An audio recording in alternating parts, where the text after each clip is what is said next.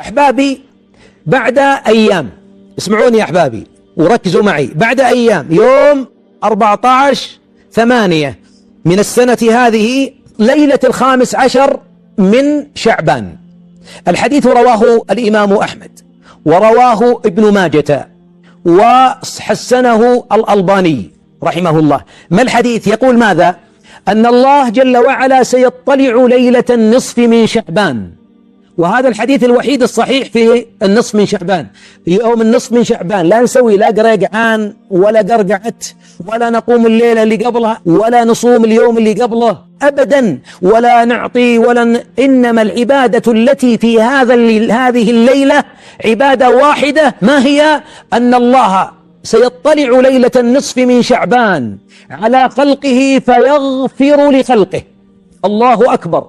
الله سيطلع على عباده ليلة النصف من شعبان ليلة 15 ثمانية يعني هذا الشهر فيغفر لخلقه فيغفر لخلقه إلا مشرك ومشاح وفي رواية مشرك قاتل ومشاح يعني الله رحمته ستعم الخلق في 15 هذا الشهر أو ليلة 15 إلا القاطع الرحم. والمشرك قاطع الرحم منزوع بركة العمر منزوع بركة المال منزوع بركة الزوجة منزوع بركة الصحة منزوع بركة المال. والأبناء مسكين محارب والله ما تحل البركة. في حياة عبد قطع رحمه. يغضب البعض يقول أنت تكثر الكلام عن القطيعة. يا أخي القطيعة تسبب لعن الله. والقطيعة قد يفعلها بعض الصالحين وبعض اللي عليهم شرها. وبعض الصالحات تصلي الضحى وتصوم الاثنين والخميس ما رفعت بسبب ماذا؟ بسبب قطيعة الرحم. ونحن باقي أيام باقي أيام يا من تريدون صلة الرحمن. أيام ليلة النصف من شعبان الكريم يغفر لنا جميعا استقبالا لرمضان. إلا المشرك اللي أشرك مع الله غيره. ولعل في حلقة نخصصها لاحقا فيه. والمشاحن والمشاحن اللي بينهم شحناء تجاوزت ثلاثة أيام. يا مسكين فرصة قبل أن تدخل رمضان فتصوم ولا يرفع صيامك. قبل أن يأتي للعيد وتعيدون الناس بالثوب الجديد وأنت لو ثوبك جديد ما ينفعك. جمال ثوبك إذا كان قلبك أسود على المؤمنين. من البركة من البركة من البركة أن تكون واصلا. واعف عنهم يا أخي.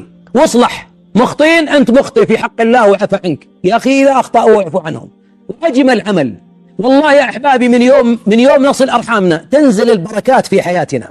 ومن يوم نقطع أرحامنا أغلى عيالك أحب عيالك إليك هو اللي يعاديك هو اللي يدخل شوكة هنا. وطعنه هنا.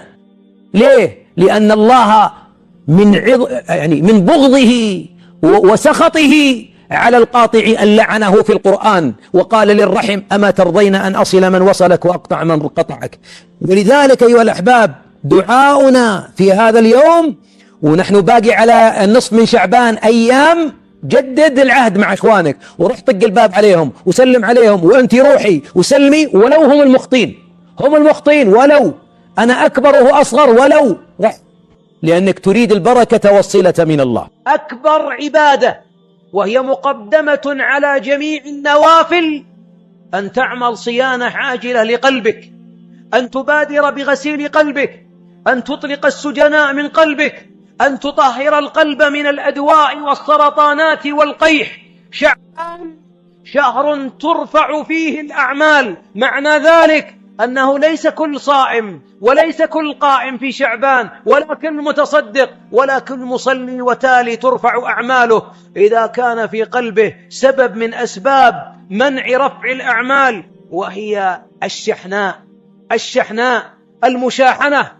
البغضاء التدابر القطيعة الهجر كبائر يسبب بعضها لعن الله لصاحبه. والبعض منا يعمل هذه الأيام صيانة للمكيفات في البيت وللثلاجة في البيت. قبل ما تعمل صيانة للتكييف اعمل صيانة لقلبك. فإن القلب الذي لم يطهر ولم يكن سليما ولا مخموما لربما يدخل رمضان لكن يخرج من رمضان ولم ترفع له ليلة من لياليه وقد قامها ولا يوما من أيامه وقد صامها ومرضه في قلبه. أما بطنه فصائم أما قلبه فمفطر. ولذلك طهر قلبك طهر قلبك وشهر ترفع فيه الأعمال.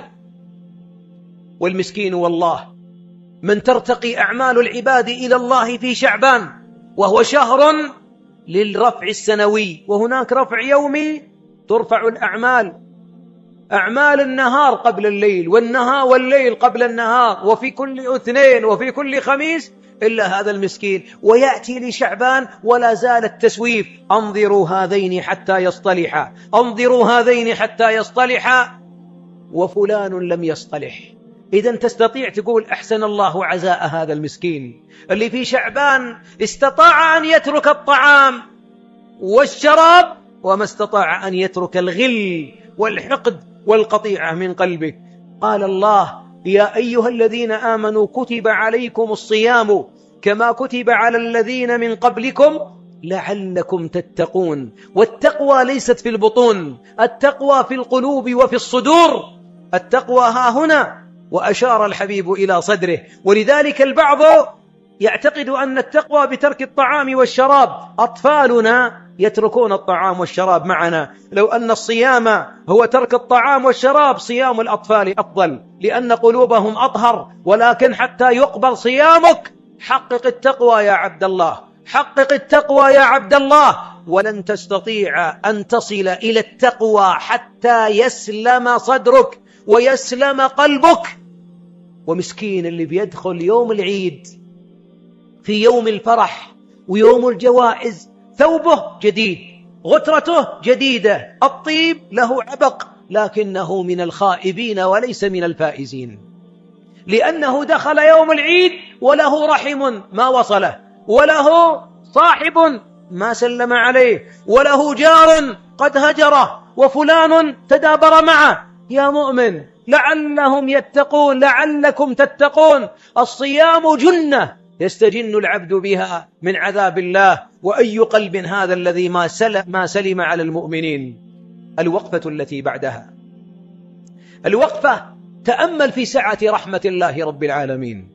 من أعظم رحمته أنه أشرع أبواب الجنة في رمضان. غلق أبواب النار. صفد مردة الشياطين. الله أكبر.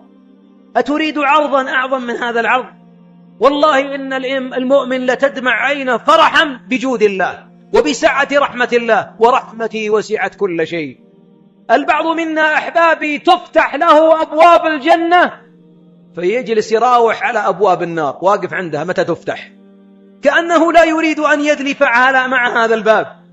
ولذلك من أخطر ما يمر على المؤمن في رمضان أن يعتقد أنه سيدرك رمضانا بعده. بل أقول للجميع من منا قد ضمن أن يدرك رمضان هذا العام؟ والله إننا لا ندري. والذي بعث محمد بالحق إن بعضهم قد رحل إلى الله في ليلة الأول من رمضان. والله إن بعضهم اشترى ثياب العيد وما لبسها. وبعضنا سينوم ولربما لا يستيقظ. والبعض يركب سيارته ولا ينزل. ولذلك ما أعظم أن نستعد للقاء الله ونفرح بسعة رحمة الله. جدد قلبك طهر قلبك خم قلبك. أفضل الناس مخموم القلب صدوق اللسان. ولذلك إذا استطعت هذا العام أن تطهر قلبك وأن تهرول إلى ربك وأن تفر إليه وأن تسابق إليه فهذا العام عام السعادة. كلنا في نهاية العام الماضي رمضان لمنا أنفسنا. وجميعنا في نهاية العام الماضي تمنينا لو مد الله في رمضان ليال وأيام. وجميعنا كان لديه برامج يريد أن يبدأها وما ابتدأها. وتمنى على الله الأماني ولا زال الله يمن علينا. ها هو مد في أجالنا. المقابر امتلأت. لكن أنا وأنت لسنا فيها. اللهم لك الحمد. يا رب كما مددت في آجالنا فاقبل أعمالنا ويسرنا لليسرى وجنبنا العسرى. هي نعمة.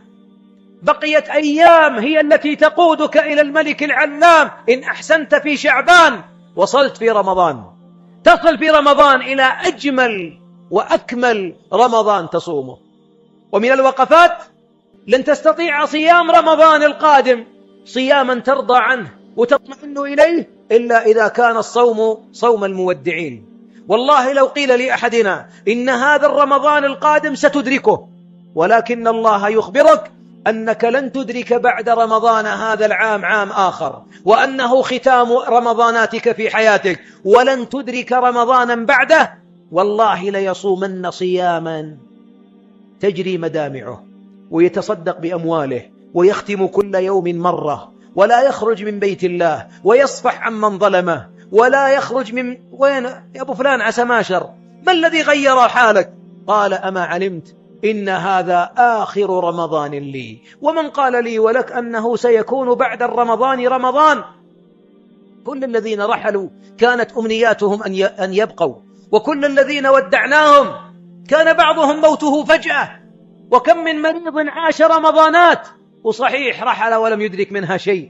لذلك ما أعظم أن نصوم صوم المودعين. وعلاج الغفلة في القلب أن يقرع الإنسان قلبه بمواعظ ويقول لنفسه لربما والله ما أدركت بعد الرمضان هذا رمضان. مشكلتنا نفرط أحيانا في مواسم الجنة ونقول الوعد في الموسم الذي بعده. هذا جميل إن مد الله في الأجل لكن من الذي قال لي ولك أن الأجل سيمد؟ والله لا ندري. وأعمارنا لا ندري متى يختم والعبرة ليست أن تموت أو تحيا. مد الله في آجالكم على الطاعة. العبرة هل أنت تموت على طاعة أم لا؟ رغم أنف امرئ أدرك رمضان ثم خرج ولم يغفر له. لأنه إذا لم يدخل الجنة وأبوابها مفتحة وأبواب النيران مصفدة ومسكرة ومغلقة وموصدة ومردة الشياطين مصفدة متى يدخل؟ يا باغي الخير أقبل ولله عتقاء من النار. انشرح يا عبد الله اشرح بذلك صدرا. لكن ليكن هو صوم غير عن الصوم الذي مضى. بعضنا بعد أيام بعد أيام يفتر ويضعف. أحد أحد الدعاة يقول ما ظننت أن بعضنا يقرأ عن سير السلف أنهم يقرؤون في القرآن يختمون في كل ليلتين مرة. وفي كل ليلة بعضهم مرة قال ما صدقت حتى رأيت أبناء هذا الزمن كم يقضون من الساعات وهم ينظرون إلى الجوالات. علمت أن فعلا لو كان نظرهم في القرآن لختموه في كل يوم مرة. لذلك معاشر الأحبة صوم المودعين يجعل المؤمن حقيقة يغير في نظره ومسيره إلى الله. ومن الوقفات معاشر الأحبة وهي تابعة للوقفة الثانية استغل ما بقي من شعبان في صلة, في صلة الأرحام. البعض منا لا زال يقدم قدما ويؤخرها. سلم عليه نشوف إن شاء الله. للعيد إن شاء الله يا شيخ. طيب جاء العيد. ما سلمت؟ أحيانا تدخل العيد وتخرج ولم يرفع رمضان كله. استفد هذه الأيام. وابدأ بالكاشح من الأرحام. الكاشح أن يضمر لك العداوة وامتلأ جوفه بالبغض لك. أنت عارف والله ما هو بحابك أنا عارف. ولا هو بواطنك ولا يودك ولا يحبك ولا يريدك ولا يحب لقاءك. لكن أنت تحب لقاء الله ولذا عفوت عنه. عفوت عنه وذهبت إليه وطرقت الباب عليه ومددت اليد وخيرهما الذي يبدأ للسلام ابدأ بها في شعبان. فإنه التحدي التحدي الذي يواجه كثير من الصائمين في رمضان. والله يا أحبابي إن بعد العفو عن الناس ينشرح, ينشرح القلب وتلين النفس ويلين القلب وتدمع العين. ومن أكبر أسباب الخشوع في الصلاة ومن أكبر الأسباب تدبر القرآن ومن أكبر أسباب صيام المودعين الخاشعين أن لا يكون في القلب ضغائن وأن لا يكون به سجناء وأن تكره نفسك. الحبيب يقول ليس الواصل بالمكافئ إنما الواصل الذي إذا قطعت قطعت رحمه وصلها. ابدأ بالقاطع ابدأ بالذي لا يحبك ابدأ بذاك الذي كأنما تسفه ملا. ابدأ ثم انظر بعد ذلك. ستجد السكينة والطمأنينة في قلبك أيها المؤمن.